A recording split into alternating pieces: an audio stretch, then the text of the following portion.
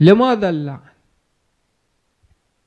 وزان المناعة النفسية وزان المناعة البدنية. اللي ما عنده مناعة نفسية.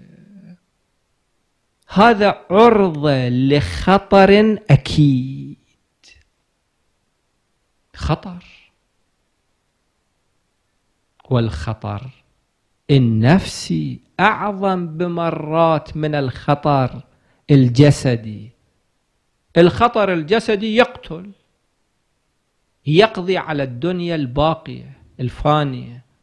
ولكن الخطر النفسي يقضي على الآخرة الباقية. يدمر روحه يدمر أخلاقه يدمر دينه يدمر قيمه. هذا الفرد الذي لا مناعة له تجاه الانحراف والطغيان. ومن يمثل الانحراف والطغيان. هذا عرضة للخطر لخطر التأثر. أنتم تعيشون في محلة اكو في المحلة طفل منحرف من الناحية الأخلاقية. قولوا لا من باب التعايش السلمي. لا تقولون كلمة لابنكم.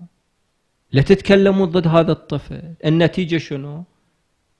النتيجة هذا الطفل ابنكم فاقد مناعة تجاه ذلك الطفل المنحرف.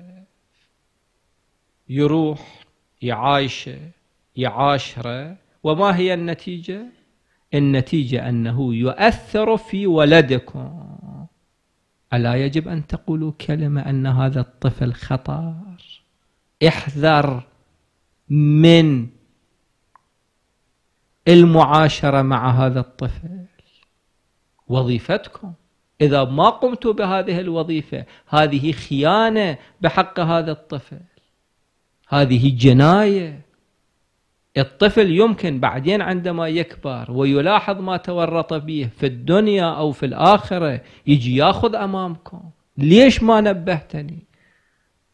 يجب أن تكون هنالك مناعة نفسية ضد الظلم والانحراف والطغيان ومن يمثل الظلم والانحراف والطغيان.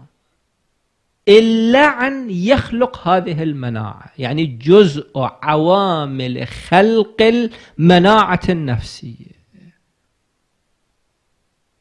أنت عندما تلعن الشيطان تحدث عندك حالة مناعة ضد الشيطان.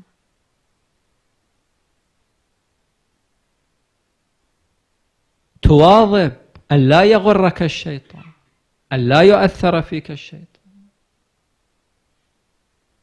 فإذا اللعن لعن الظالمين. بعدين واحد ما يفكر أنه في يوم من الأيام يكون ظالما. إذا موعنا ميعنا الحدود. بعد واحد ما عنده حاجز نفسي تجاه الظلم. هو في يوم من الأيام يتحول إلى ظالم ولكن عندما يلعن الظالمين تكون هنالك فاصلة نفسية بينه وبين الظالمين. موقف نفسي تجاه الظلم. ما يمكن في يوم من الأيام هذا يتحول إلى ظالم.